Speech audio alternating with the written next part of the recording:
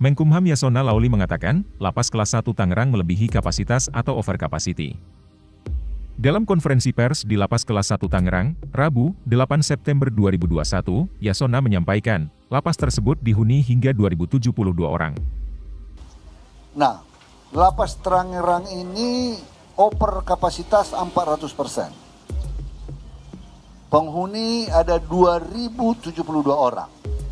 Ya, Nah, yang terbakar ini adalah blok C2. Jadi itu model pavilion-pavilion.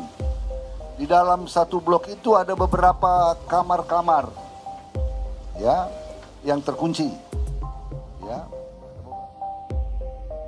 Saat kebakaran terjadi, yaitu pada pukul 1.45 WIB dini hari, lanjut Yasona, kondisi beberapa ruangan masih terkunci.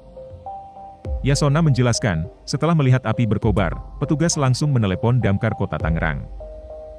Tak lama berselang 12 unit mobil damkar tiba dan api bisa dipadamkan dalam waktu 1,5 jam.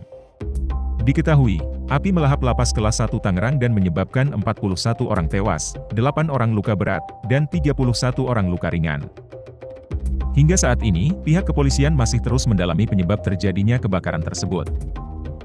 Kapolda Metro Jaya Irjen M. Fadil Imran menjelaskan, korban meninggal dievakuasi ke RSUD Kabupaten Tangerang dan RSUP Sitanala. Sementara itu, korban dengan luka ringan dirawat di klinik lapas kelas 1 Tangerang. Saat ini Crisis Center telah didirikan untuk memberikan berbagai informasi pada keluarga korban.